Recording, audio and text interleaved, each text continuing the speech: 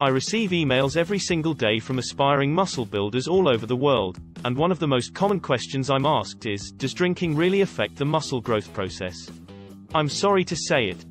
But yes, too much alcohol will almost definitely have a significant negative impact on your muscle building results. Alcohol is far more harmful than most people think, and it's very important that you understand how this drug, yes, alcohol is a drug, is affecting your progress.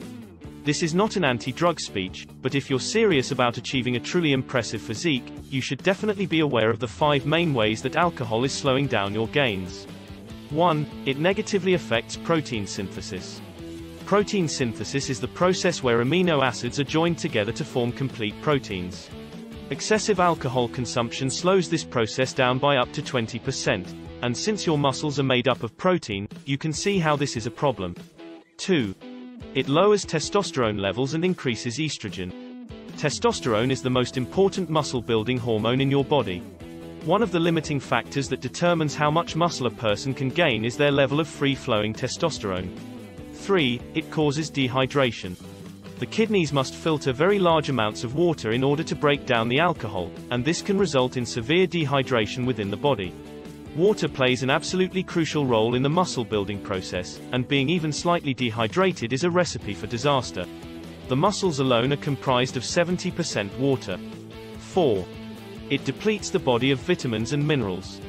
Alcohol consumption causes vitamins A, C, the Bs, calcium, zinc and phosphorus to all be drained at rapid rates.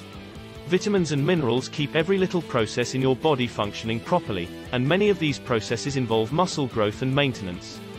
5. It increases fat storage.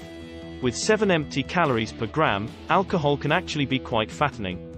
Alcohol also disrupts the Krebs cycle, which plays an important role in fat burning. It's important to have fun in life, but too much fun can lead to problems.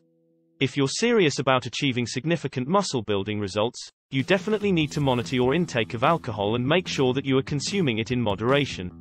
A few drinks here, and there shouldn't be a problem, but if you find yourself drinking every weekend you can almost certainly kiss your muscle gains goodbye.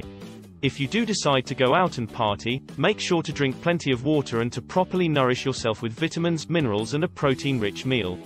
I don't recommend revolving your entire life around your muscle building program, so don't be afraid to go out and have a good time once in a while. Just make sure to keep your drinking nights infrequent, no more than once a month, and properly nourish yourself to lessen its effects.